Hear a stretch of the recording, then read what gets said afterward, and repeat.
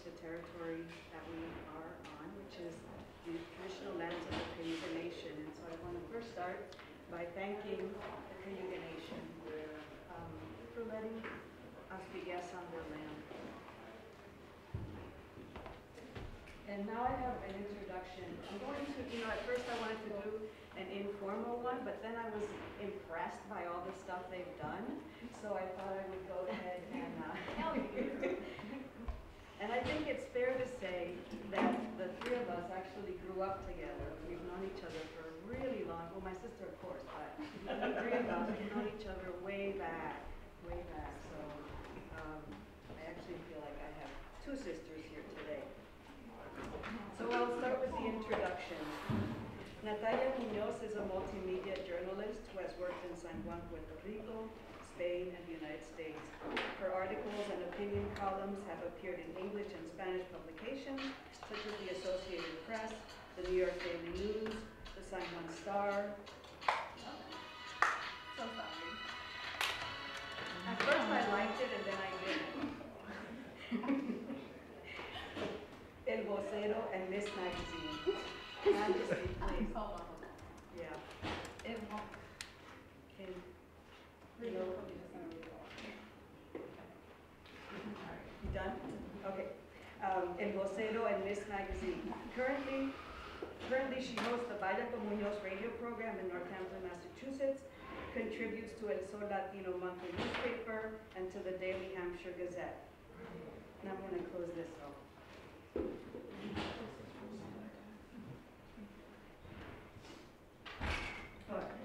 It's not locked, so people can't come in. Muñoz founded and directs Verdant Multicultural Media, a communications, engagement, outreach, and marketing company with a focus on cultural competence to effectively engage communities of color. Verdant creates online, print, and broadcast communication strategies and campaigns, conducts ethnographic research to inform the campaigns, and delivers a range of creative products. She also co-founded the Cultural Change Project to end sexual harassment of girls and women. The project is a multimedia and multicultural campaign against catcalling, a sexist form of bullying, intimidation and sexualization, and ubiquitous and mostly unquestioned violation of human rights. Muñoz is also chair of the Northampton Human Rights Commission and member of the Markham Nathan Fund for Social Justice. Okay. Mary Patierno is an award-winning documentary filmmaker and a founder of Real Communication, a video production company specializing in business branding, promotional, and marketing videos. She is a longtime instructor in the MFA Photo, Video, and Related Media Department at the School of Visual Arts in New York City. She was a 1989-2002 recipient of an Artist Fellowship from the New York Foundation for the Arts and co-produced and, and curated the WOW, Women One World, Women's Film and Video Festival in New York City from 1988 to 1994. Her film, Vieques, is worth every bit of study, study. That too. Vieques is worth every bit of struggle, won Best Documentary at the New Vision Award 2005 from New Screen TV. Her documentary, The Most Unknowable Thing, which is about her brother, um, and filming her brother as he was living through uh, HIV AIDS and did pass away. It's really a beautiful film. The Most Unknowable Thing was selected as part of the new documentaries in 2000 series at the Museum of Modern Art in New York City. It was nominated for 2000 International Documentary Association Achievement Award and was awarded Outstanding Documentary Feature at Outfest 99 in Los Angeles, the Reeling 99 Film and Video Festival in Chicago, and the Miami Lesbian and Gay Film Festival. So if you don't believe me that's a good film, there you go, there the awards. It was. It also won Best Documentary Short and the Audience Award at Reel Affirmations Film and Video Festival in Washington, D.C. And, and, I would just like to take a moment to thank the Psychology Program and the Women's and Gender Studies Program, which are the sponsors of, of today's presentation by Natalia and Mary. And, and I want to thank you also again for, for taking time to be here good to see all of you, and many of you who aren't even required to be here today are here, so that's really good. And, and Fluff is here. Okay.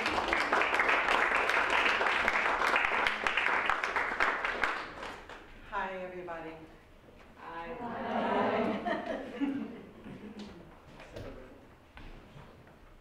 For me, multicultural eh, communications matters because I that is the true reflection of who we are. We are more than one thing. And yet what we see so much in, whether it's the, in news stories or in marketing campaigns, whether we're selling services that a nonprofit offers or eh, la Coca-Cola eh, or clothes, we tend to see very flat representations of humanity. So I do, I'm gonna go very quickly, I'm not a big PowerPoint person. There are only four slides, so this is the first one, I'll be free to go and then we're done. This was for a campaign about, for, to encourage people to do small but significant changes in their lives, so that, to improve their health. And this was based on uh, a bunch of interviews I did with a lot of people to find out what's, what message would resonate with you. And of course, there were different responses because people come from different places in their lives. One of the, though, there was a common thread, real people. So that's what we did. We photographed real people. We didn't buy stock photography from Adobe.com or from Stock Exchange. We photographed real people and then we interviewed them and they shared some more of their stories with us. So we put on these giant posters and then also to put it in the three most spoken languages in the city where this takes place, this campaign takes place. And then it was also important, okay, these are two African American girls, sisters, but we put it in, if this is available in Spanish and English and in Vietnamese, because also it's not about oh, since they are African American, we're only gonna have this in English or in Spanish. Or we're only gonna have the Vietnamese with the Vietnamese language. And that's what we did with all these posters, are in those three languages, different people. This one, this guy is Puerto Rican, we have him in, in Spanish, but he's also in, in English and he's also in, in Vietnamese. In, okay, the next slide. The, oh, Say I'm sorry, the one who knows PowerPoint, sorry. No, that's good. So, when I founded Verdant Multicultural Media, I did that because a couple of things had happened. In 2006, there was a further economic debacle. Eh, I can't say that it was the economic debacle because I think as long as people live impoverished, there is an economic debacle going on. It just became even more acute for more people. And um, I founded Verdant Multicultural Media because as a journalist, I lost my job. I was laid off from my job. But I wanted to stay in communications and I wanted to do something that spoke to me, that, that, that I felt I'm doing, I'm contributing to society somehow. And I have a very strong social justice thread that runs through my family. And I said, okay, well, let me do that. And then when I, uh, Mary, who's been my friend for, for many, many, many years, I asked her, I said, well, what name can I come up with? Because I want to have a name that then becomes the initials of my mother. Yep, I figured that one. Because my mother's name is Viviana. And este, so then Mary, who knows all the words and from the SAT exam, all of them and more, she came up with verdant, and I asked her, what is verdant? And then she told me, new, fresh, you know, green, verde. Este, I said, yeah, okay, verdant multicultural media. And there are my mother's initials because I believe that the work that we do, if we can do the work that we love to do, let's do that. And I learned that from the professor here, who wrote about work and love, that those two things are related. And if the, part of what I do also in my job, when I'm, when I'm doing marketing, is to make sure that the stories of people who seldom are told are told. So it could be, okay, how to get healthier, some recommendations, some tips from other people, and it could be this one minute video to encourage people to ride their bike. 本当に。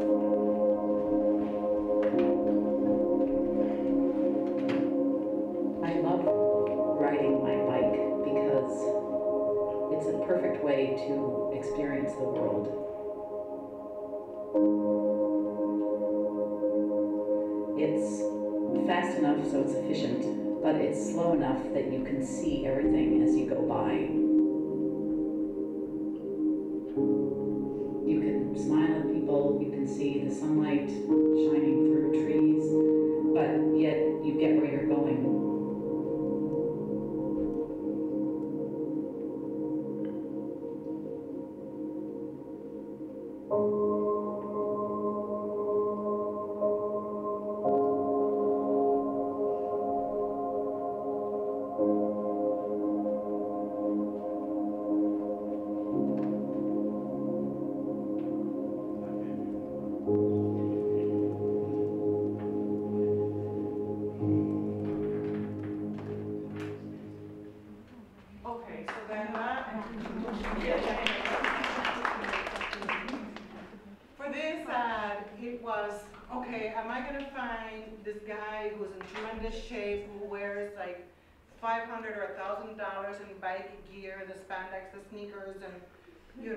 I gonna put music that says, we're gonna go real fast and it's just gonna be this great experience, and I thought, no, I'm gonna look for someone who's just like average, no? Mm-hmm. Who just likes to ride her bike to do what she said she likes to do, and it doesn't come with all the equipment except the helmet. Este, that story is important. As the previous stories that you saw of the two sisters and of the man on the treadmill, are these are people whose stories are not known. And if when you look at the for-profit media, the national media, eh, whether you're they're reading opinions or you're on social media, so much of what we see is either from our own little community or este, and seldom from what, what are other people saying from other experiences, from other communities. And I believe like the way, one of the ways in which we build social justice, that we do evolve this so it's a more perfect union, It's doing the hard work sometimes of listening to people who have opinions so different to our own who have experiences so different to our own. But there's so many places where we overlap, that where we can talk, where we can understand one another. And then, of course, there's some people that you'll never, or at least I will never, be able to sit down and have coffee with, but let, at least have that at hand. And the next slide I'm gonna show you, so there's only one to go after this one. Okay, this was a campaign because the Medical Reserve Corps needed more Spanish-speaking people. And if the, this was a little bit hard. The medic, well, does everybody know what a, the medic, okay. Thank you, Lisa. The Medical Reserve Corps are the, they are the first, they're, they're the, the- they're the people who support the first responders in an emergency. When there's a tornado, there's an earthquake, there's a fire, if some giant calamity happens, these are the people who support the firefighters and the ambulance people. Eh, they're the ones who take down information, who set up a information kiosks. So I was like, oh, I can't find, you know, my, my friend, they were in that building that, that, you know, with forty apartments that was on fire. They were looking for more people who could speak Spanish. And not just Spanish, but speak Spanish representing different Spanish-speaking countries. Because there's this thought that if you speak Spanish, we're all speaking the same Spanish. And we're not all speaking the same Spanish. We have different words for the very same thing. We have foods that are similar, similar, but it's different. And it's to respect that, to respect those, literally, those different voices, to literally respect those, those different experiences. They, so then, part of the job here was finding then different people, people from different Latino com- communities to represent that, the different Latino communities in the city itself. And then, this was a, this was a bus sign, this is a, it's a giant sign. The mortality rate of babies in the city, in this specific city, Springfield, is very high, especially black babies dying in their cribs, a, a sudden infant syndrome, a, a death. Sudden infant, yes. Yeah, yeah. And what, what I didn't do this investigation, what the medical establishment did, is like, why is this happening so much? And so then that's why we, we need to be very specific and make the ad about when babies are born, we see this a lot, that people put a lot of things in the crib with them. And they put the, you know, if, you know, if the girl has a pink thing, if the boy's a blue thing, and, but on top of that, there's, there are toys, there's, there are pillows, there, are- there's stuffed animals. And so we started, we created a campaign of, we know you love your baby, we know that that's your new, you know, precious, the person in home. But really, when they go to sleep, don't surround them with stuff, because that's, that's where the danger lies. And then we didn't want to say it in a way that then people would get scared either. If they, so that, that was a challenge, and then also another challenge here was, eh, here it says that Spanish is spoken, so I had to make sure, is Spanish really spoken? Because you see a lot, you know, Spanish is spoken, and then somebody who speaks Spanish calls, and then there's nobody who speaks Spanish on the other end. So when Spanish is spoken, in my job, I make sure Spanish is spoken the whole time that agency is open.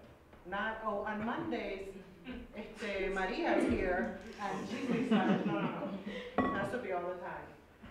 And, um, now I'm gonna show you a clip, Mary and I worked on this, oh, we're gonna do the sexual assault? Yeah.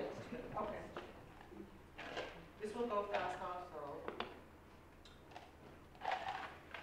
We were, Yeah, go ahead, you introduce. we were hired by the North, by a a district attorney. Do you have district attorneys in New York Yeah. representing regions? Yeah.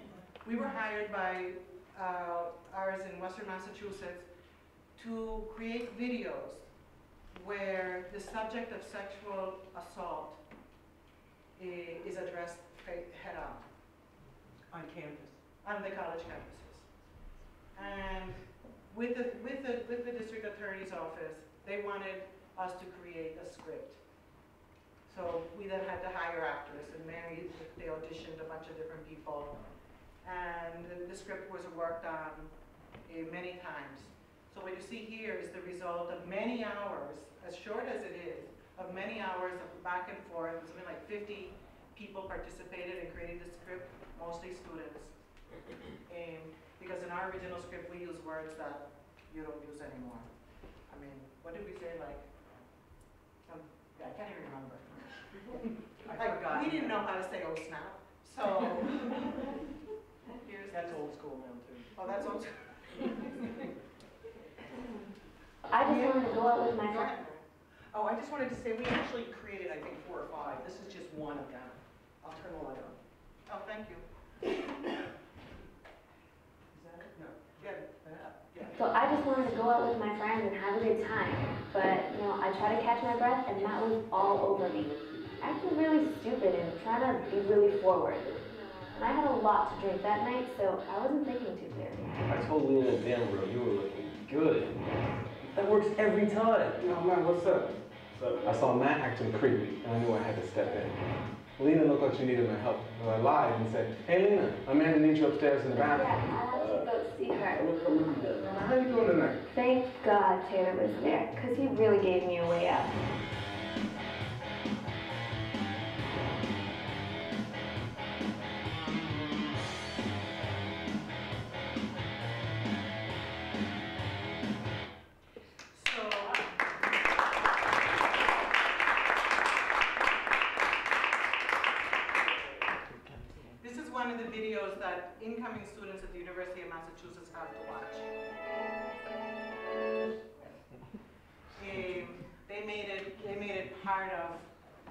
First year students, their, what's that called, the orientation?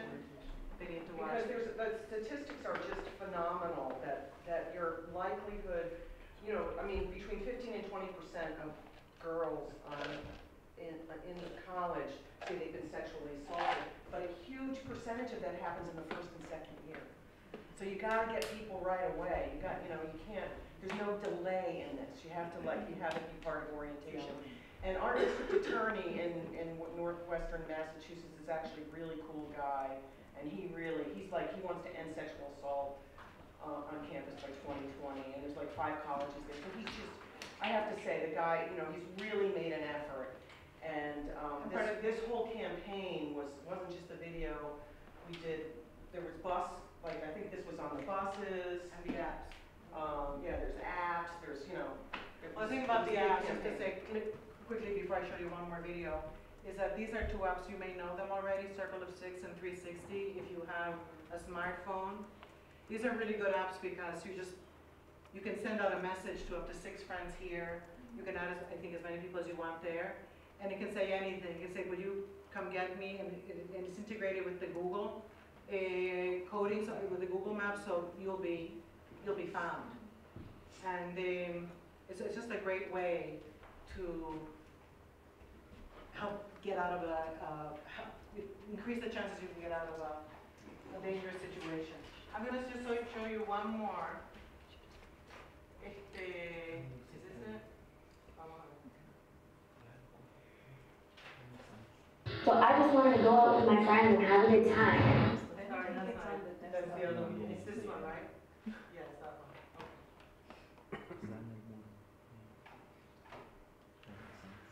Okay. I think if you scroll down, you'll find them, no? No, I think it's, is it uh, this, it's, it's this one. Okay. No, it's not that one. This one? Yeah, I think this is the, yeah, this is. I want to go out with my friends and have a good time, but, you know, I try to catch my breath. Okay, can I just do something that, and then you can't see it, how do I take the screen out so you don't see like all the fumbling I have to go through to find it? All right, you're just I gonna think it's it. just up on, it's up on top. No, it's not.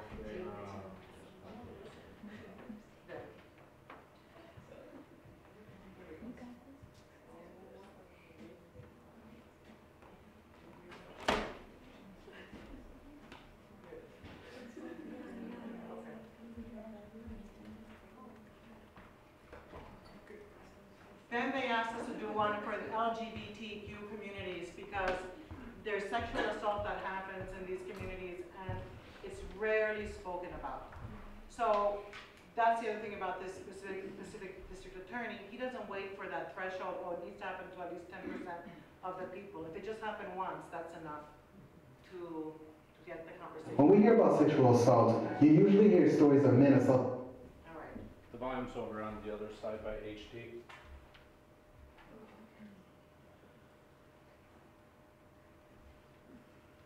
When we hear about sexual assault, you usually hear stories of men assaulting women, but it can happen to anybody, including members of the LGBTQ community and all genders. Stigmas and misconceptions allow this crime to seem unrealistic to the public eye. But sexual assaults can be prevented, and we can all play a role in keeping everyone safe. I saw these two girls hugging in my dorm in the hallway. One of them started pressuring the other to hook up with her. Then she started to pull her into her room. I didn't know what to do. If it's someone you know, you can speak to the person being harassed and say, hey, would you like to go outside and get some air? Or a couple of us are going to get something to eat. Or if you feel comfortable, get in the conversation and speak directly to the perpetrator. So I was at this party and there were these two guys from my dorm. I knew they were dating, so at first I just thought they were having fun. But then one started touching the other and looked really uncomfortable and I just didn't know what to do.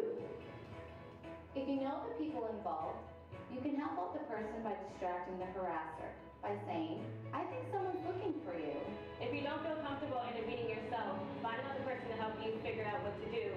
Or you can find the party host and ask them to intervene. When you see something that doesn't seem right, think about how you can help. And remember the three Ds. Whatever you do, it's important that you do something. And remember, never put yourself in danger. When in doubt, tell someone or call 911.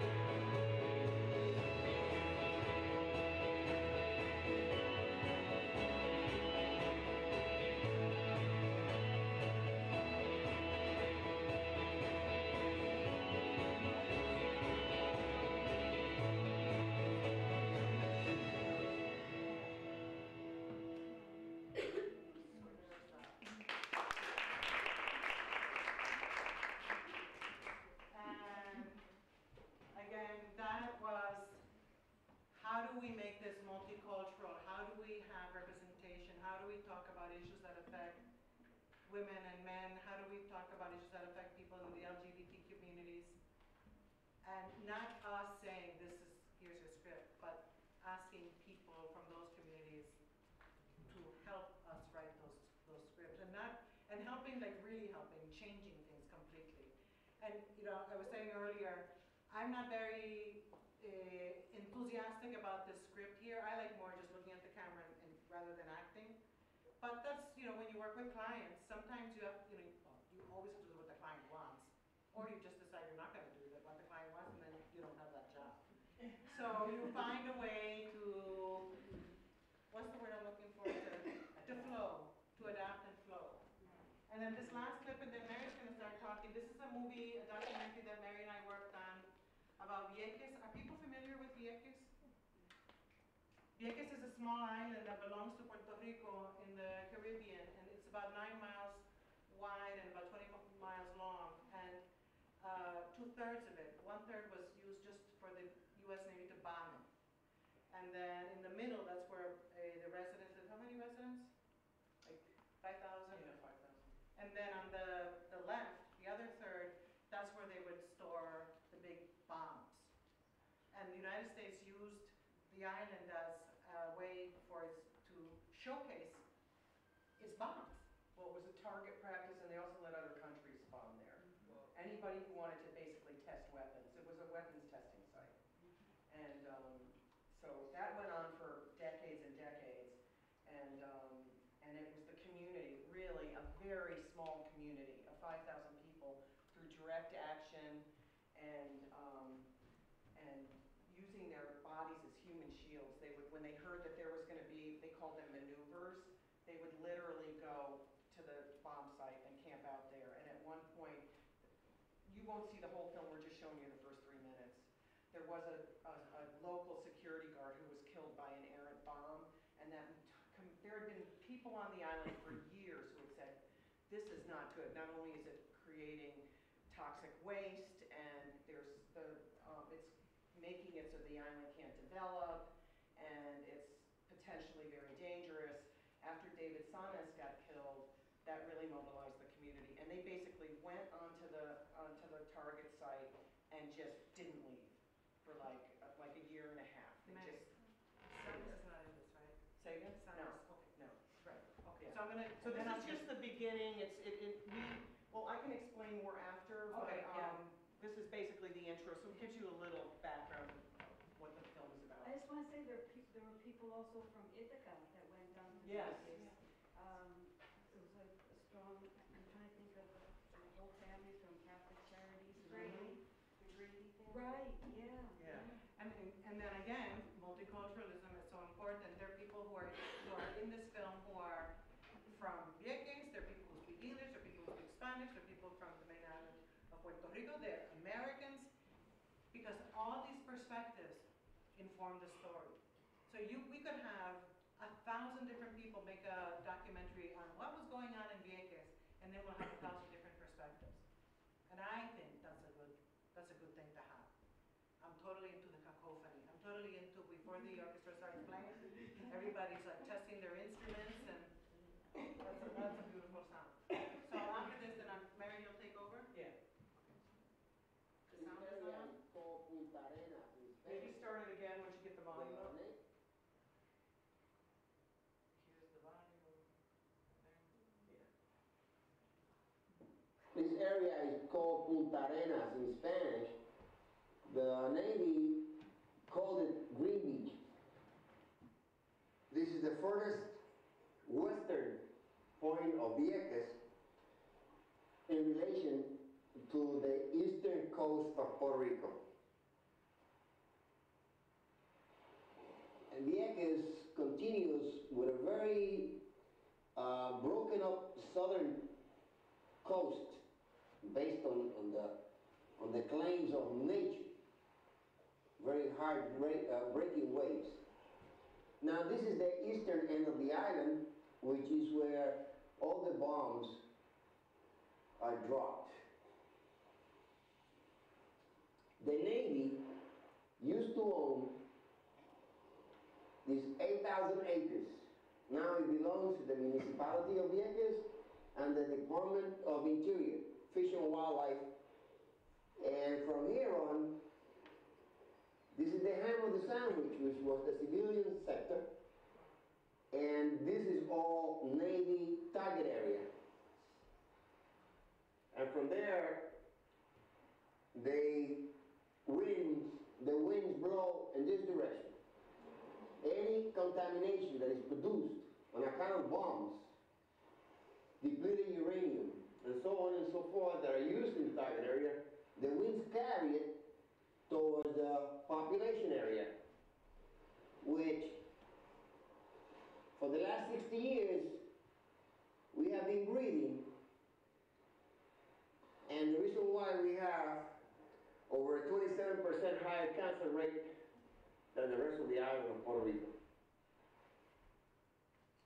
But look at this beautiful. Miles on end of clear waters, white sands, not a bigger canyon sight. An example for the rest of the Caribbean. It's really beautiful. It's worth every little bit of struggle to get it back.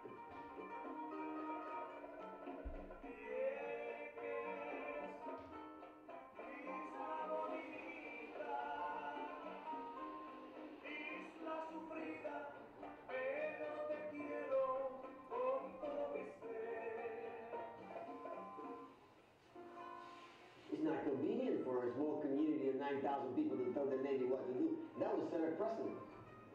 And then other communities like Okinawa, Australia, the people that come here to Vieques to see how we're doing, how, how we're fighting, uh, would, would do the same.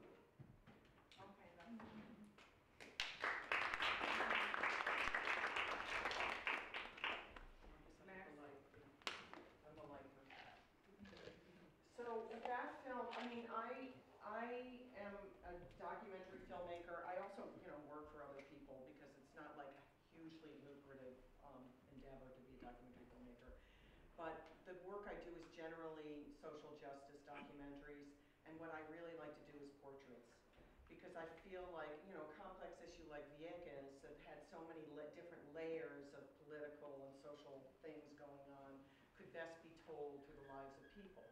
So when we did the film, we interviewed probably 12 or 15 people just to, ki- you know, as research, just to try to figure out like who could best tell the story. So in the end, Ernesto is one of the people who tells his story, and he was a Vietnam vet um, who had actually been a tracker. He led people through the forest um, in Vietnam, and he um, ended up, you know, being a muralist, and he painted many protest murals around the island, and had been arrested and spent significant ta- time in jail. We had a woman who had was a cancer survivor, um, a guy um, who had been, an, who's an American citizen, who um, actually did maneuvers on the island, and then ended up moving to Vieques, and he also was part of the um, movement. Uh, we interviewed a, a fisherman. That these are the people that ended up in the film, um, and because uh, you know the fishermen's, the fishermen really were impacted badly by the maneuvers. Basically, when the U.S. was doing the maneuvers, there was no fishing allowed. So, um, so anyway, we told this this story, the complex story of this island and the activism, which they did. I think it was was it in 2003? They did get the Navy to stop bombing, and the Navy did stop bombing with the because of the efforts of, of the islanders and many people, as you said, from Viet, uh, from Puerto Rico, from the mainland, and uh, elsewhere that came and actually helped them. Um, however, the Navy has not cleaned up. It's still a big toxic waste dump on the eastern end of the island, and that's still a huge struggle that is, needs to be addressed. You know, having said that, there's toxic waste dumps even on the mainland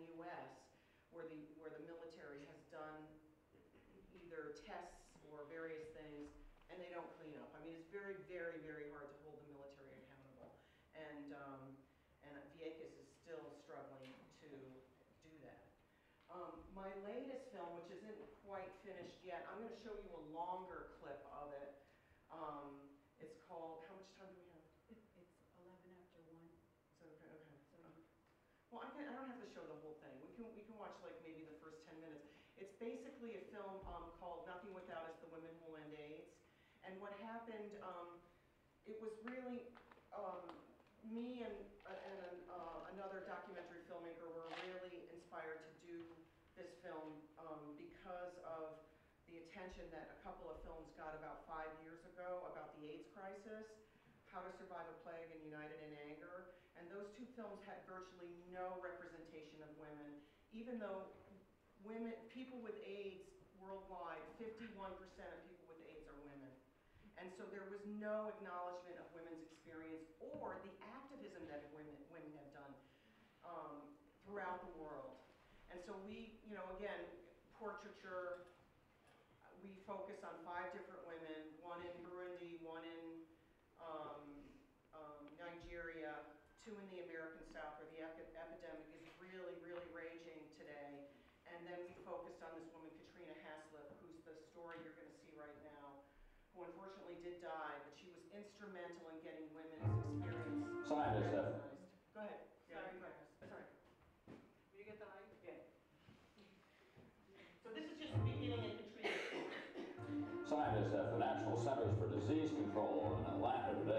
the results of a study which shows that the lifestyle of some male homosexuals has triggered an epidemic of a rare form of cancer. The scientists say they're dealing with some new deadly sexually transmitted disease.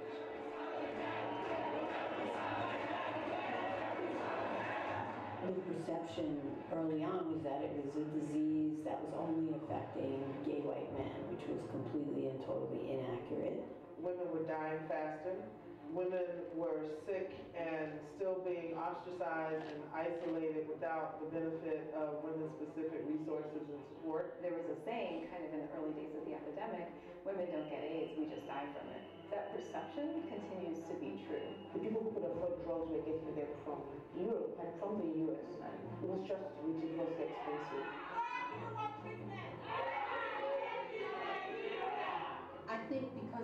Impact of how this epidemic has hit certain particular groups that are considered um, you call it racism? Racism, classism, sexism, you name it, any of the isms that you can think of. Mon expérience est partie du, de femme. Je me suis battue parce que ma révolte a été la révolte humaine.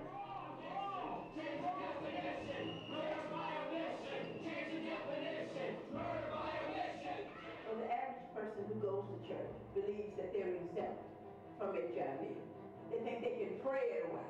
And I am a living testimony that prayer doesn't stop you from becoming infected.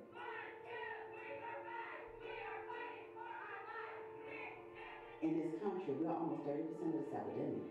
Worldwide, we're 50% of the epidemic. Maybe a little more. Yet, what you hear about women is almost zero. For everything that the men have done to forge the fight on this epidemic, to open the door, it will be the women who close the door on this epidemic. I am not confused about that at all.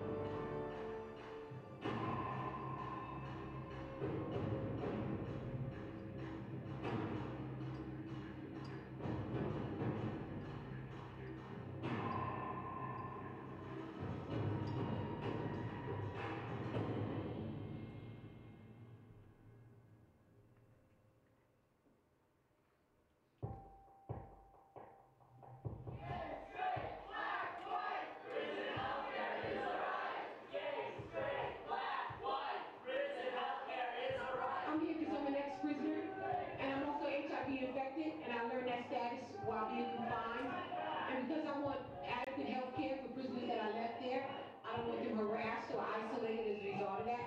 I wanted to let out terminally ill individuals, because that's like double jeopardy, and it becomes a death sentence for those individuals.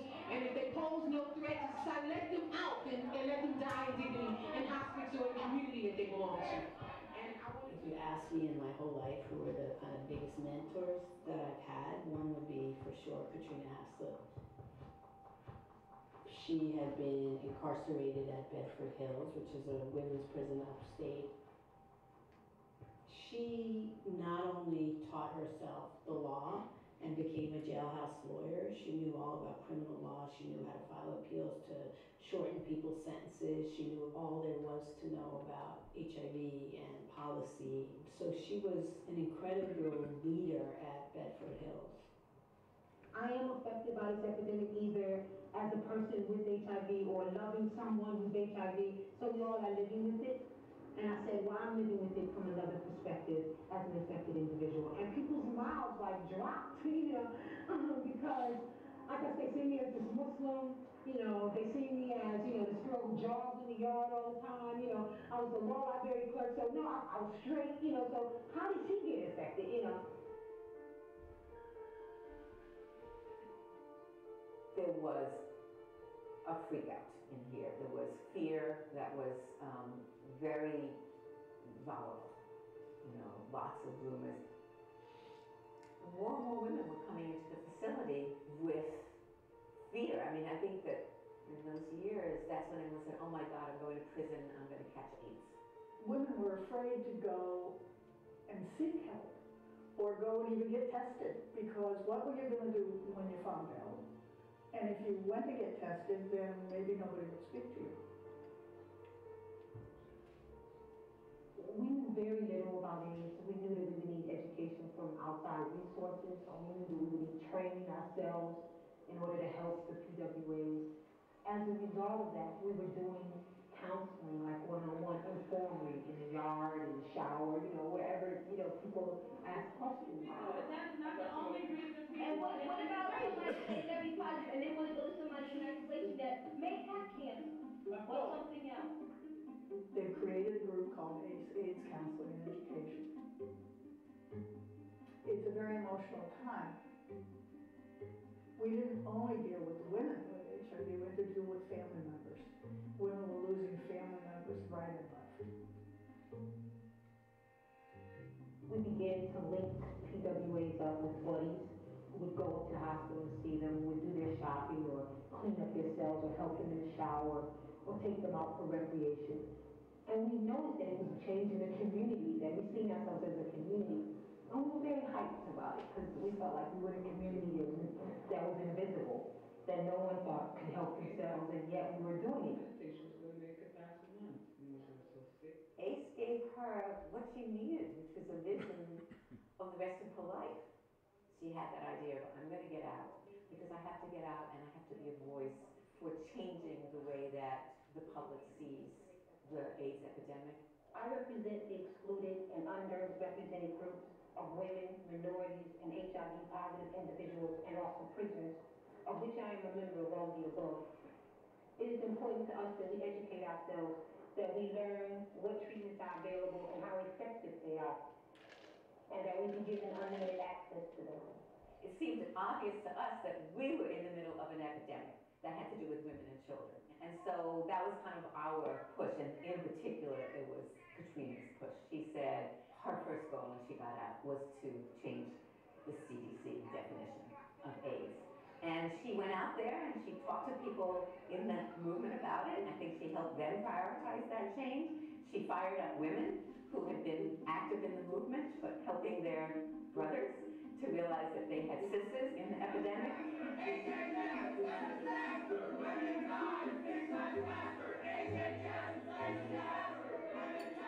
Katrina, more than anybody, is the one who first raised these issues in a policy context. I first met Katrina on October 1st, which was 1990. Somebody pulled me over and said, I know you've been waiting to meet Katrina Haslip. This is Katrina. Katrina laughed and said she was on parole. She wasn't supposed to be here. And of course, then promptly joined the demonstration. It was shocking to see these women so ill and unable to qualify for anything.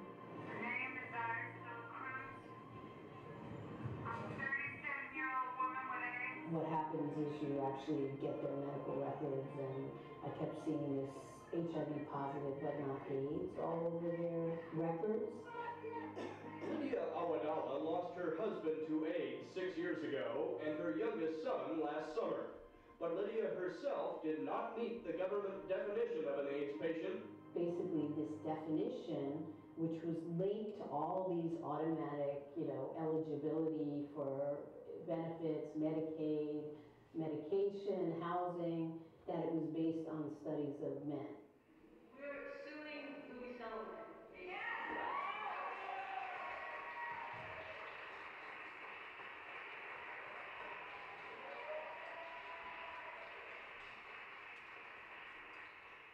Basically, we're saying that Social Security is irresponsible to use the CDC definition of AIDS because the CDC is discriminatory in how it's gone about its studies. It hasn't studied poor people, it hasn't studied women, it hasn't studied people in urban areas sufficiently, and that's costing lives. It takes one to three years to get benefits from these companies. That's with an attorney. I lost three clients before I could get the benefits. These are women who have children who are HIV infected, who can't afford to take care of themselves or their children. Their list of what is AIDS is based on gay white men. It's not based on these populations. There has been a lot of activism around trying to put pressure on the CDC, both from community-based organizations and or advocates of HIV positive women.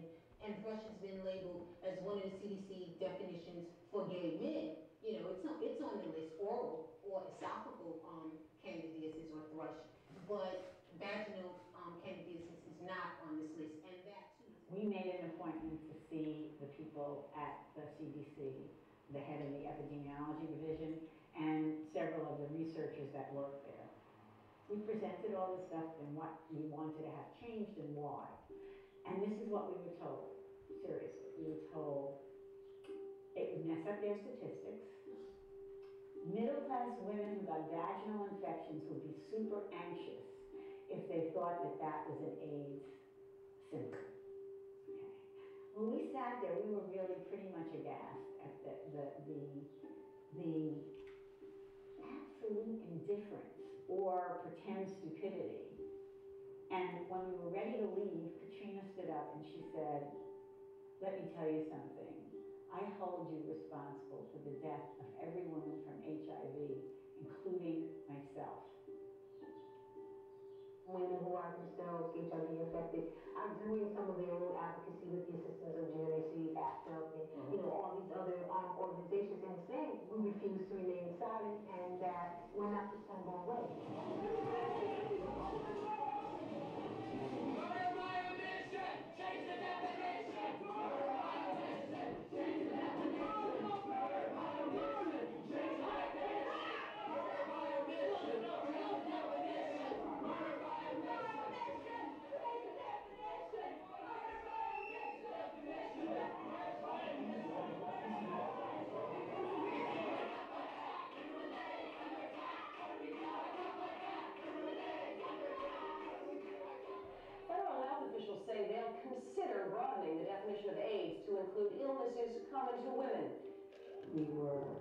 Dealing with huge amounts of death. I think, you know, by that point, maybe half of the plaintiffs were dead or dying. And then we won this lawsuit, which basically was saying that these people hadn't been counted. There are hundreds, if not thousands, of women who probably died from AIDS-related complications without ever having been diagnosed. Uh, I could probably think of a few myself. You know, she died December 2nd. They announced that they were expanding the definition in January. So she missed it by a month. That to me was just so emblematic of how women were treated in the early epidemic. I feel very calm, very focused, and very centered. Um, and I think it has a lot to do with the fact too that spiritually, I'm, I'm at another place. Katrina was in the hospital then, and people went to interview her. One of the reporters said, so I hear that they changed the CDC definition of AIDS. And she said, what do you mean they changed it? They didn't change the definition of AIDS, we changed the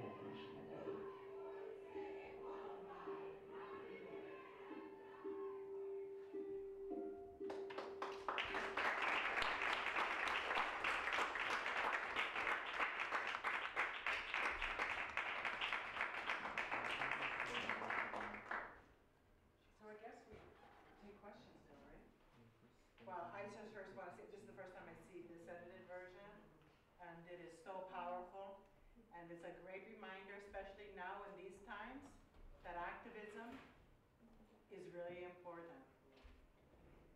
And filmmaking. And the combo is really cool. Well, just so you know, there's like four other women that are highlighted. Katrina's the first that we highlight, and it's, it's, she's just so powerful. And even women AIDS activists today don't know who Katrina Haslip are. We, we show this at like community groups around, and they they don't know who she is. So we feel so good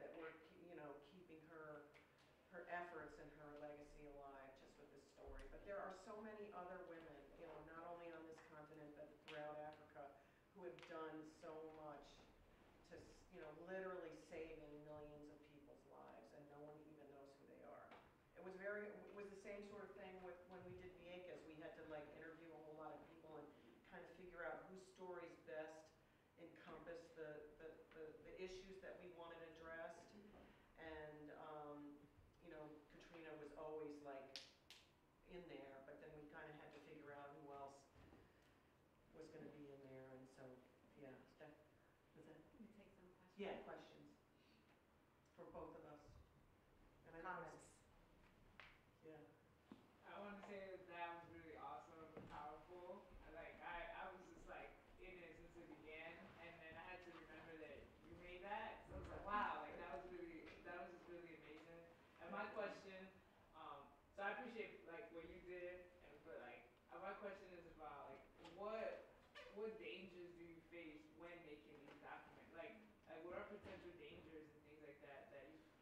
physical, like in, like all aspects. I mean, you know, you're speaking. So, for example, the, the video you just showed, you know, it's about women with AIDS and like, you know, you I'm, they were talking about like, you know, taking lawsuits against the government. All these, you know, that's like that's not easy. You yeah. know, so like, what are the dangers in all aspects when you make you know films about what's really happening in the world? Um, well, I think you know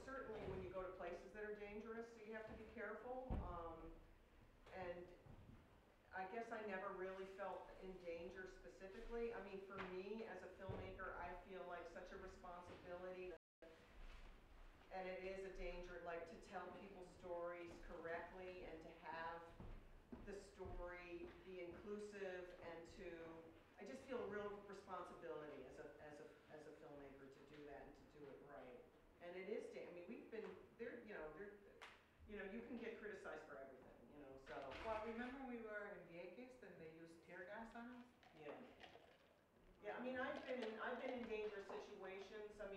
shot in 90.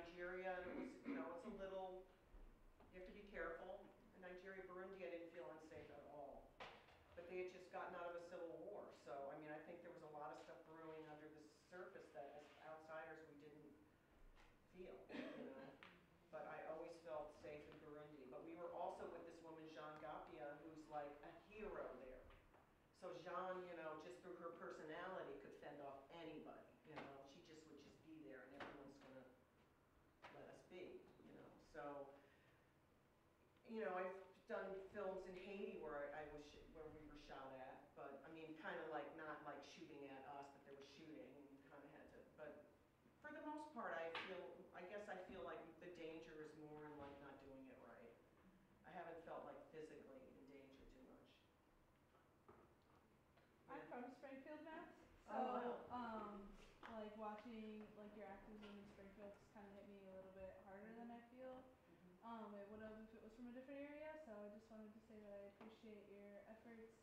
and your activism to clean the streets of Springfield and to give it a better perception because when I think of Springfield and downtown State Street, it's not what you saw in that bike video at all. Mm-hmm. So um, kind of brightening and enlightening that environment and trying to pull some positives and mm-hmm. lifestyles into that. I really appreciate that. It's really cool. You're welcome. hey Mary, when are we going to see this film? This film is not 100% very, very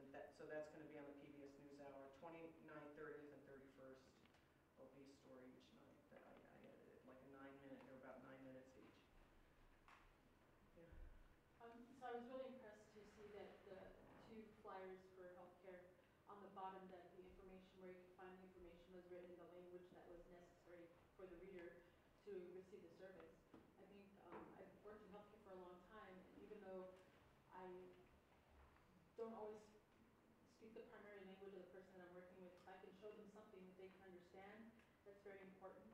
Um, but it's very hard if I can't be confident that that place is going to be able to serve them in their language.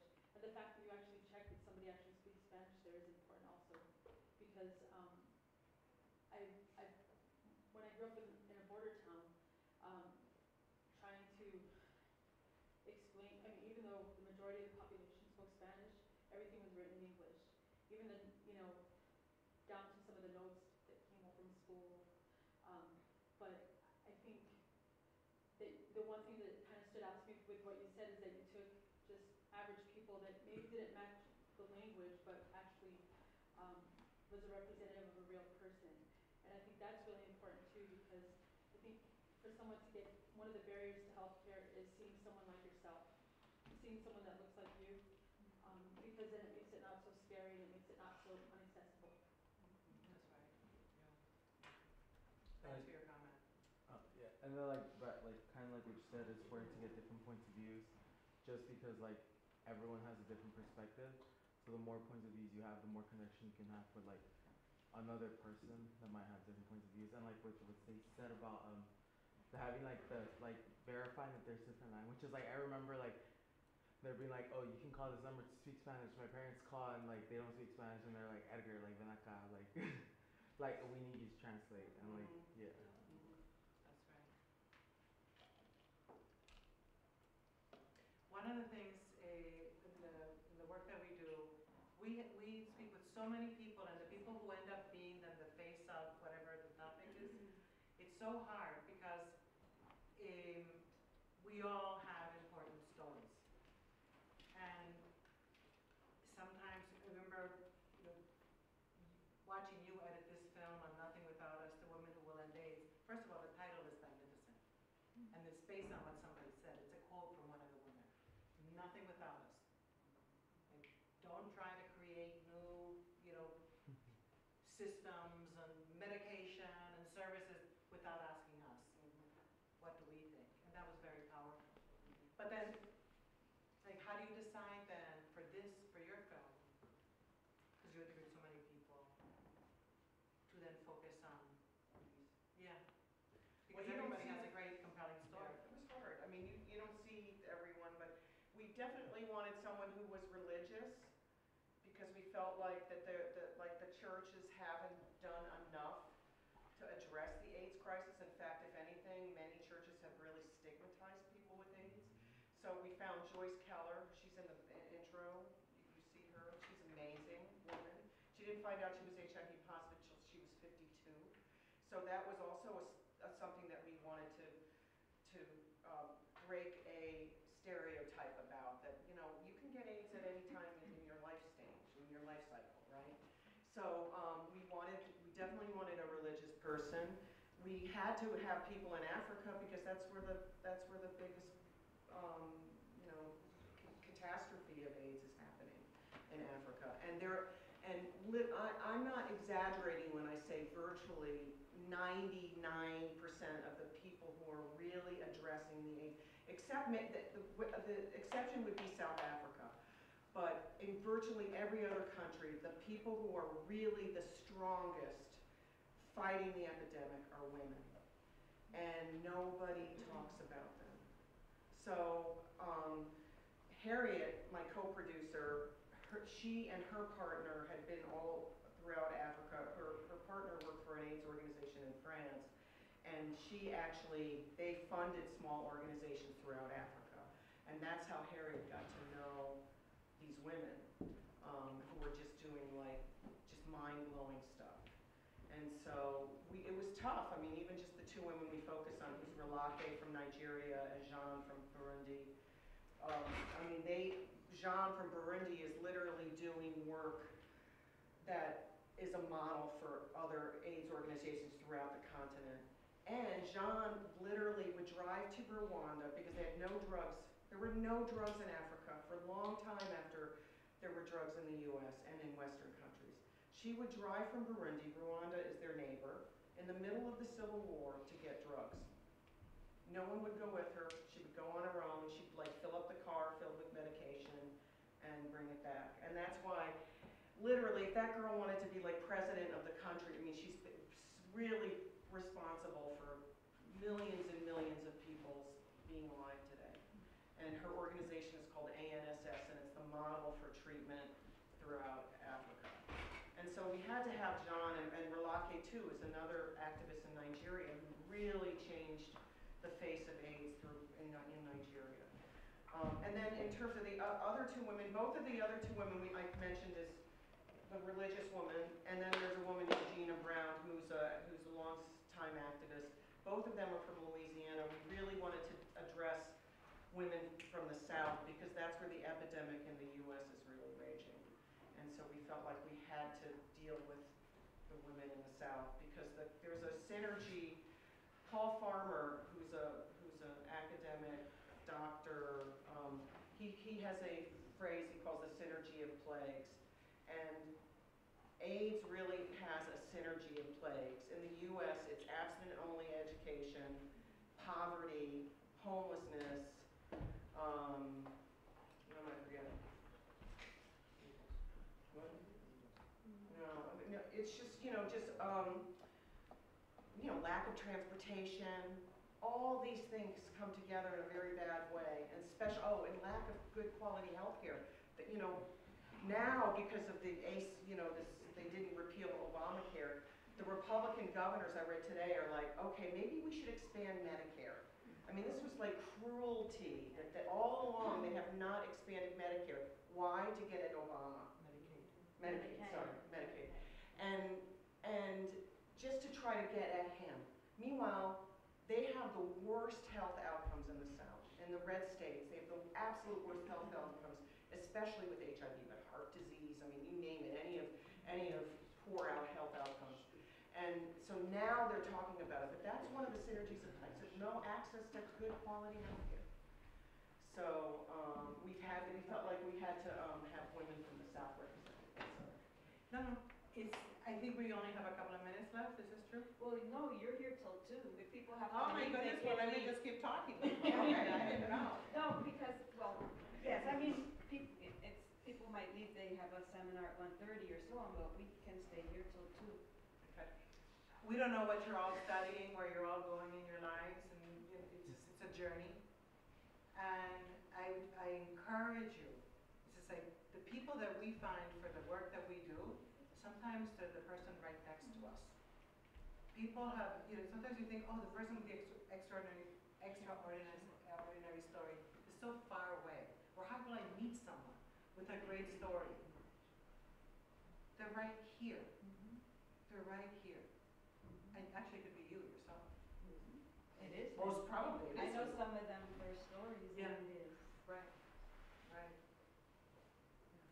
I was actually gonna ask you that same question, like, how do you choose, or like, how do you decide which stories you wanna tell? And like, which stories are just like, have stay in the background, like, what, how do you choose what to show in your film, basically? You want me to? It's really a heartbreaking experience. It's, it really is. It's, it's, it's very hard because to, you have to leave some, some people behind. And then, the, then you, you have, you develop a criteria of what stories do we, we really should tell. And like Mary was saying earlier, let's, for her film, let's get somebody from the church. That's really important to hear from a pastor, actually. Eh, if they, her experience to, to then inform viewers. Sometimes it is when we worked on the Vieques film, we had discussions back and forth about, and discussions is a nice way of saying, we had some really heavy duty arguments about who to keep in and who to not keep in. Mm-hmm. And the thing is, no matter which way it would have turned out, it all would have been right. It's just that sometimes you just have to decide, because you have X amount of minutes. And you say, okay, well then, person A is, we're gonna take that person out, so that we can have person B in. And it, and it's, it's an emotional experience, there's just no easy way. Yeah, I think you, you figure out what has to be said and who's the best one to say it. So like, we wanted, we had to have Katrina's story and that whole story of, of, um, women's, of the CDC definition, it sounds very technical, but it was a life and death situation. And it was so emblematic of how women are treated, not only in the AIDS crisis, but by, by healthcare in general, right? So, we had to have Katrina in, but we also wanted to have someone who was a little older. We needed to have someone who, um, who had, you, know, problems getting access to treatment, which was the case all throughout Africa. Um, and, but we also wanted people who had, who were, we didn't want to be like, oh, victims, you know, I mean, like, we wanted it to be a story of like she rose, you know? In the end, it's like, yeah, it's a really intense story, but we wanted like people who had risen above their situation and really made a change. So it was a combination of like what, what their, how their lives address certain specific issues and also how they fit, how they took their, their lives and sort of turned it around to help their communities. So yeah, it's hard, and like Natalia said, when you have to leave people behind and then you have to explain it to them, you know, because you, you can spend a long time with these people. And they think they're in the film, and we think they're in the film, we're not like making it up, we think they're in, and then it's like, oh, we have to cut her. It's, it's awkward, it's very awkward, and, yeah. No, you can finish your thoughts. and No, I'll- that's all, it's just awkward, it's, it's, it's hard, it's very hard, it's like, are you gonna call her? No, I want you, no, I want. Meeny, meeny, miny, Who's moe. gonna call her and tell her? Do you guys cry? Like, have you ever just been in like, damn, I need a break? Oh, When yeah. you I see just her cried just film, now, I me just too. cry, I did with Katrina, I cry every time, I really do. Her film, It's The like Most so sad. Unknowable Thing, the, as she was working on it, I, I hope you get a chance to see it. I want, I want, I It- want. I'm just gonna tell you, it's devastating. But, but life is hard. And when, uh, when you can see something on a flat screen and it moves you, that's how powerful, you know, the story just comes out at you. Well, part of it is you're trying to get like, with the film about my brother, you know, you're trying to get emotion from people. You don't want it to be maudlin, so there's a really fine line, right? You don't want it to be like so upsetting that, or people are like, ah, turn it off, you know? But then you're editing and you're trying to like kind of eke the most out of it that you can. And I sat in front of the computer crying. I mean, I cried so much when I edited that film. I really did because I was really trying to work the emotion and it was upsetting. I mean, this was my brother. Yeah. You know, so yeah, I cry a lot. I'm a crier though, so it's not like it's. Yeah, we're all crying. Yeah, I'm a crier. But, um, It's okay. And also the title of that film, right, The Most Unknowable Thing, is Yes. what he said. Yes, It's the, it's a quote from, from your brother's name, David. David. Um, when he's talking about, um, you know, passing, passing away and, um, and he's trying to explain that. And he said, but it's just the most unknowable thing. Yeah. And someone at a Q and A I did, they said, well, why did you pick the title? And I said, well, because David said it, and like, death, he wasn't sure, and she said, I think the film is about how life is the most unknowable thing, and I was like, Oh, that's true. because the film, if you see the film, there's a couple of twists and Don't turns. say. I won't tell you what happens, but there's things that happen that you don't, or it's like, whoa, you're blindsided. Yeah. And, and it was so true, it's like, oh my God, it's so true that life is the most unknowable thing. You just don't know how it's gonna go down? And. The other thing about Nothing Without Us, notice I'm really promoting this film. Even though we don't have a date yet, you don't, you don't have a date yet when it's going to come out, whether it's gonna be at film festivals or on television. If they, We're working on it, yeah. such important stories of women. Because, you know, I don't, I don't know how many of you can think right off the top of your head, five important women who were scientists. Who can think of five women scientists? Okay, five women race car drivers. Five women poets. That, that was. Oh, okay, never mind. You know what? But our voices have been silenced for centuries, for millennia, literally. And this, so then, this work that we get to do, where we get to then put a microphone, put a camera, have that space, create that space where women's stories are known, is a very special, it's a very special honor. It is. And you all can do it too. Yeah. Along with that, uh, this is not a, a simple answer question. Have you ever considered having like a parallel project to deal with the heartbreak of who you have to leave out? That's like an oral history digital archive? A site for that, you know? Kind of Working on a AIDS, phone. working on AIDS. Yeah. Yeah. Yeah, that's a great idea. Yeah, now that the film's over, because, like, you don't really know, like, there's a bunch of people, I would like to cut pieces of them, pieces for them.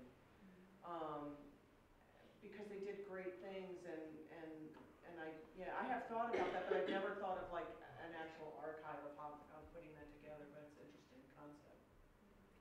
But I do think about that, like, oh, I should cut a piece for, for these women who didn't make it in, you know, individual pieces. Because a lot of times when you're doing something, you're cutting people out, not because they didn't Yeah. Share in a powerful way, it's because you have a time limitation.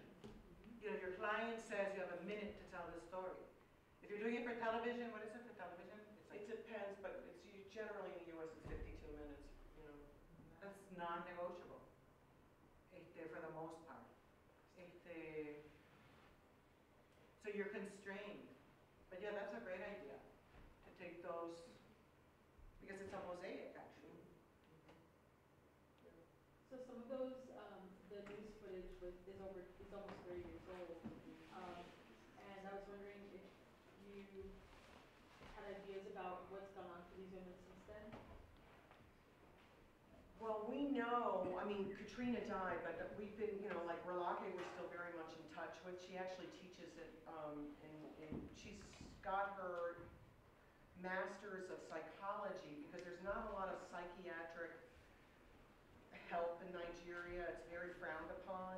So she got her, um, psychology degree and master's in psychology in Canton. What's the college up there? What is it? Not, not SUNY, the other one. St. Lawrence? Is it St. Lawrence? It's St. Lawrence. Oh, is that it? SLU? Yeah. So Rolake, yeah. So we actually, we, that was, we did the piece, and we, we actually were with Rolake at St. Lawrence. And, went to her classes and did this and that. I mean, so you end up, you know, you shoot like twenty times more than you're gonna use. So we didn't actually even tell the story of Rolake getting her master's, because it was like, ah, we can't, you know? There's only so much you can do. So, uh, what was the question? Sorry. How, how things have changed for them? Oh, yeah. Like, the- Yeah, like we, like Jean, um, Burundi's under a very difficult situation now. It's on the verge of civil war, and Jean had to leave the country because she's kind of on a hit list where, because the people know, she, they know she's very powerful, and kind of getting rid of all the, um, anybody who's potentially opposition. So she's living in Burkina Faso right now. Um, who else? Gina's still doing her thing, you know, doing, you know, activist work and, uh, and, and Joyce too, both in Louisiana. So, yeah, we know what they're doing. The thirty-year-old footage is really just to sort of set the stage for the very beginning of the epidemic and how women weren't included. And I guess because too, what, when we think about this, I mean, I was in high school at the time, so mm-hmm. I, I thought over the course of time, we haven't really heard much about the AIDS epidemic anyway. Right. We've kind of now are up onto heroin and other things like that, but I, I know just by the things that I do, AIDS just hasn't, it hasn't gone away. It, I mean, it actually is still around, and for women, I mean, they've, uh, advances have been made in healthcare, but we're still silenced over the course of a lot of things. You know, I see some, a lot of geriatric people and women especially, um, they, we've lost our, we don't have, we didn't, we still don't have like a huge voice when it comes to voices and when it comes to anything really. So that, in my opinion, because I've seen some of the things over the course of time and been involved, um, we still don't have a voice and things haven't really changed. It's just a new package and a new like way to say, here we are. Well, the AIDS epidemic um, isn't talked about now because it mostly afflicts poor African American people. Right, and It's the number one leading cause of death of 18 to 20, I think it's 18 to 30 year olds in African American women is HIV, is AIDS. And so it's just something that, you know, and, and, and gay men too. I mean, gay men, but trans women, huge, huge um, cause of death among trans women. So we're, you're talking about marginalized people, and that's, you know, primarily why it's not, it's not dealt with today. You don't hear about it. What would you say, like, the best lesson you've learned about, like, your life or yourself would be from making these films and being involved in all of this activism? Kind of a hard question. Yeah. I don't know, the first thing that came to my mind was gratitude, to be honest. Just be, just like really grateful and try to be like, like not get really upset about the little things. You know, I just look at my life and it's like, you know, I have a hard time paying the bills. I have, you know, conflicts with, you know, people, not very many, I'm a- actually pretty good about that, but it's like, th- thing, I, things are just so small compared to like what other people are facing, you know, around the world and, um, and in our country, not just around the world. So I just, I guess that's it. I'm just very, and I also, you know, like Natalia said, I'm just so grateful I'm able to do what I do. A lot of people hate their jobs and, you know, that's one thing I would say to you, like try to find something you love, you know, to do in your life. Because you have a long period of time ahead of you when you have to work for a living. And I'm assuming you do, most of you, and it's just try to find a passion, try to find something you love.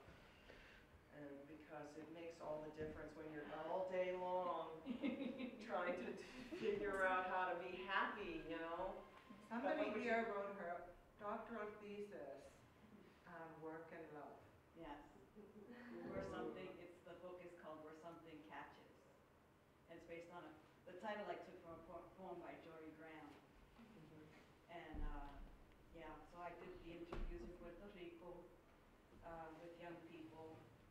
And, um, I asked them because I, I saw such, such a huge disconnect when I was doing my student teaching in biology at, uh, Lawrence High School in Lawrence, Massachusetts, between especially at the time in adolescence where occupation identity is so important, but we're doing such stupid things in the classroom. And so I asked myself, well, do young people have something they love to do? And none of the answers had to do with schools. So I thought, hmm. and so, yeah, I wrote, that's what I did.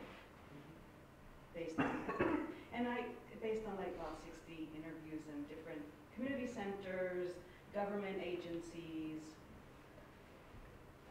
the bureaucracies are the worst, you know, you stand in line and someone's on the phone checking the fingernails and you're just waiting there, young people are waiting there and, and it's, it, it is heartbreaking also to do, like to do research for graduate studies, it can be like if, if the orientation is social and economic justice in one's work. I had, there was nothing I could do when a young woman who came to the government agency to seek services for employment was told, um, no one who's pregnant can be part of this program. And I had to watch her get up and leave after I had talked with her about why she was there.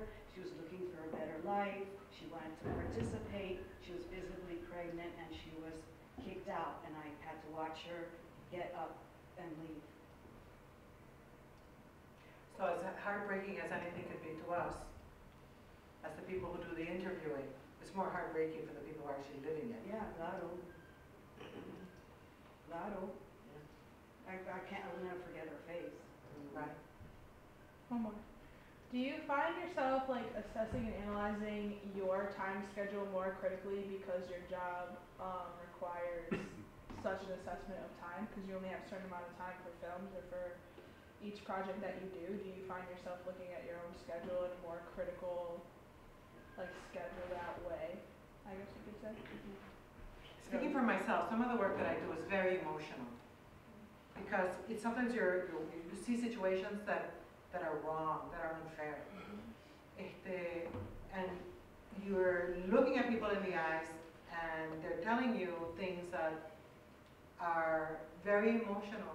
And then so you do need like a decompression. It's like you just can't be in this interview for, you know, three or four hours and you've just been told so many things that are so intense. And then from there go, oh, okay, so now I'm gonna go, I don't know, I don't go to the gym, like to the gym or, or now I'm gonna go, you know, get a, get a cup of coffee. Sometimes it's that one is upset and, and I'm also a cry. And sometimes I just need to be by myself for a while. And, and also just honor that experience somehow. Like when you said, let's honor the Cayuga. They were, they were land invaded. Well, let's remember where we are and in the work that we do. Let's remember where we are and let's remember who the people that we have shared with, who they are. That even though we're working on this project, we're talking, it's a, what's your mission statement? There's something here that, a, act humanely, you know, humanity. We're, we're people. And, um, we all do, it's, there's a lot, there's a whole life going on inside other people, including inside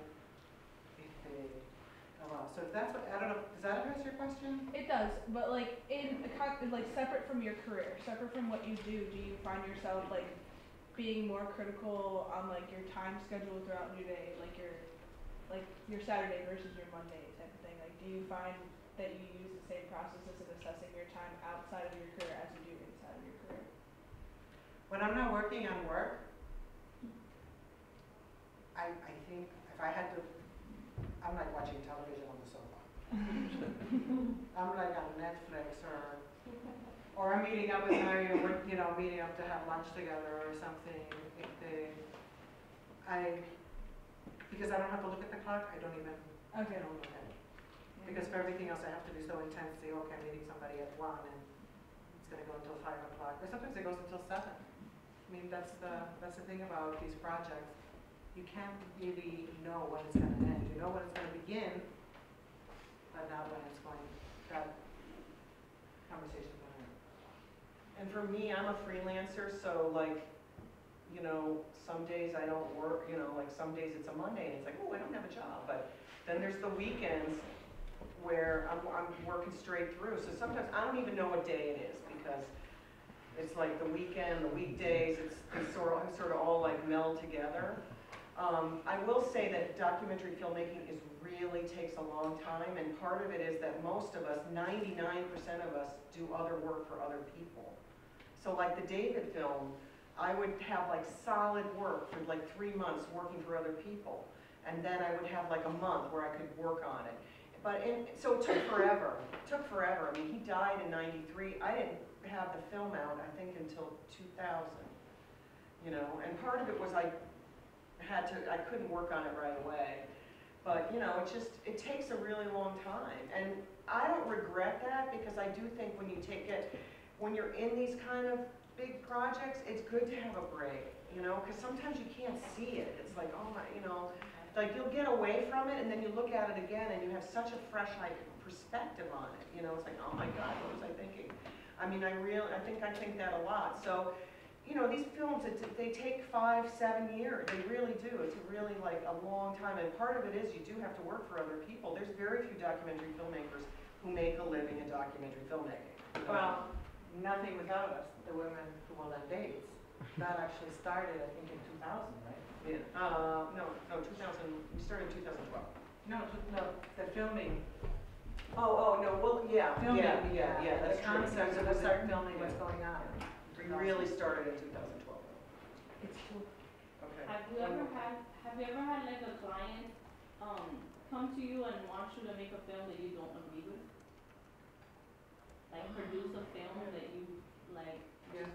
feel the need that you, you don't wanna get that message out there? Yeah. And, and, and it's not about a point of view, it's not about the, sort of the topic, it's more about how do you tell a story?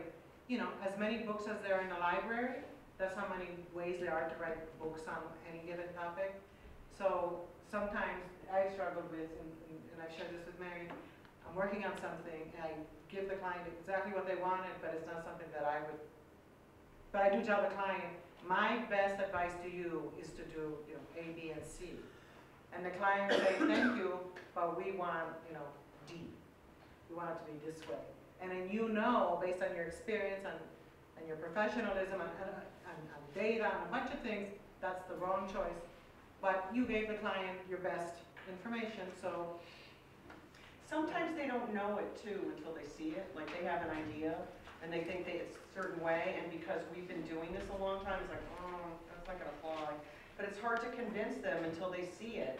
And a lot of times then they'll come around and say, okay, let's, let's, let's switch gears here and do it another way. That's why I try never to give a flat fee. It's like by the hour, um, just in case. Um, but yeah. What is your next hot topic of?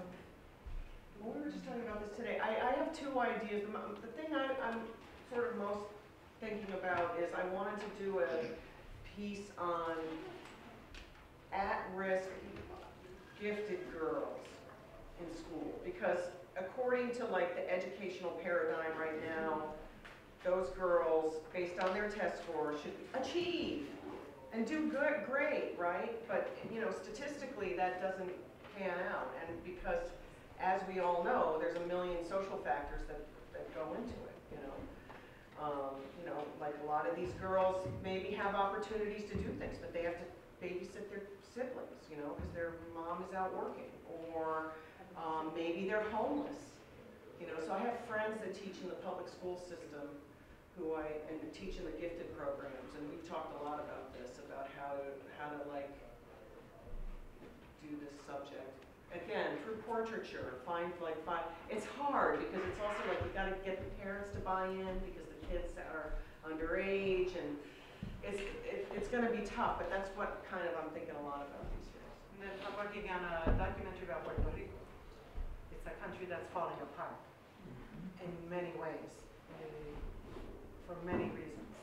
And I want to capture what it's going through now by interviewing people who are trying to hold it together. And that includes people who are eh, the artists, people who are eh, farmers, just a range of people who, as everything is going like this, they're still constructing. Should- This kind of, I don't know if this is the right question, but if Puerto Rico had become like a fifty-first state, do you think it would protect it from half the things that are happening to it that has caused all those problems? I don't think so, because when I think of the states that are going through very difficult uh, situations, Right. being a state didn't protect them either. So Mississippi is the poorest state in the union, for instance. Right. Mississippi, institutional racism in, in Mississippi, it's everywhere in this country. It's, there is just, you know, it, it just seems to be multidimensional. Um, public education, eh, when we were talking about the South and Louisiana, access to healthcare. I don't, I don't think so. That's the short answer to your question, which is a really good question, it's, an- it's- it has a complex, it's a complicated answer, but no, I don't think so. That's not, that's not the saving grace of Puerto Rico at all. Right. I just asked that because from when I was aware of it, it's like a lot of the policies that we've written for Puerto Rico, we wouldn't write for our poorest state, you know what I mean? And this allowed industry to take complete advantage of it in banking and other areas and whatnot. Yeah, that's true. That's also true. Yeah, exactly. The, the maritime laws that govern, you know, around Puerto Rico are decided by the U.S. Congress. Yeah, that's true.